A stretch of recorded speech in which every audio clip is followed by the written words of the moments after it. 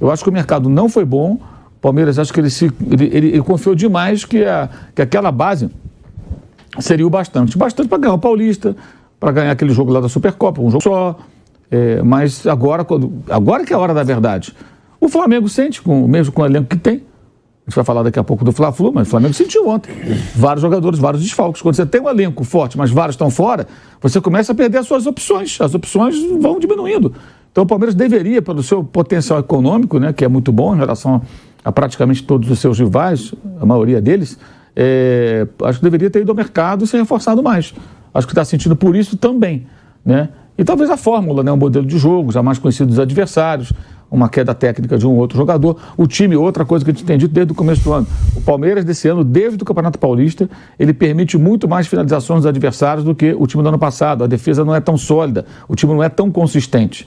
Então, isso resulta nisso. Em oito jogos, são quatro derrotas, três empates, contando de ontem com o Internacional. Aliás, a torcida do Inter está louca para mandar o Mano Menezes embora, né? Muitos protestos dos colorados contra o futebol que o Inter vem apresentando.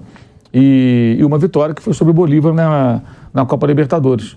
Né? No, no, futebol brasileiro, são, se você tirar o jogo internacional, que foi isso do Bolívar, são sete jogos sem vencer contar só os jogos nacionais aqui, competições nacionais, Copa do Brasil, Brasileirão, são sete jogos sem vencer. Muita coisa para o elenco do Palmeiras, atual campeão brasileiro e, e com o potencial que tem. Mas acho que é, é, é tudo um, um, grande pacote. Agora, não é inédito, né, gente? Em 2021, o Palmeiras passou por um momento muito ruim também. Ele perdeu tudo que disputou, ficou 18 pontos atrás do líder e do campeão, que foi o Atlético Mineiro, e, mas ganhou a Libertadores passou aos trancos e barrancos pelo Atlético, um gol fora, que é um critério que nem existe mais. Hulk perdendo o pênalti aqui em São Paulo, aquela coisa toda e ganhou lá com o gol do Davidson na Libertadores. Então, isso foi meio que esquecido, mas houve um momento muito ruim em 2021.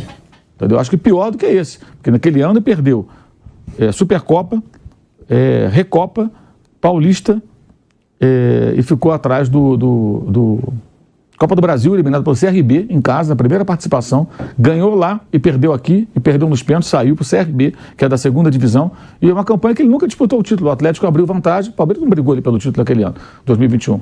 Então, acho que houve um momento difícil, o, clube, o time reagiu. Ganhou a Libertadores, teve uma temporada depois muito boa, ganhando o Brasileiro no ano seguinte, 2022. Então, eu acho que isso acontece, é do jogo. Agora, me parece que, que é preciso que o Palmeiras tenha um pouco mais de, de digamos, de, de volúpia no mercado, né? buscar jogadores de bom nível para compor seu elenco. As duas baixas são muito, muito pesadas, né? dois jogadores muito importantes que foram embora e acho que não, não dá para perder jogadores assim impunemente. Claro que não é só por isso, mas acho que explica um pouco aí a, o, o momento difícil do Palmeiras. Ó, eu vou mostrar aqui esse discurso para passar para o Zé para perguntar se passa uma ideia de arrogância do Abel Ferreira. E aí eu vou ter que escutar o Flávio Prado, que ele sempre fala dessa situação, do que o Abel fala nas coletivas, da postura do Abel. E aí eu vou botar aqui essa declaração que a gente lembrou e depois ainda tem uma cutucada do Abel Ferreira no São Paulo.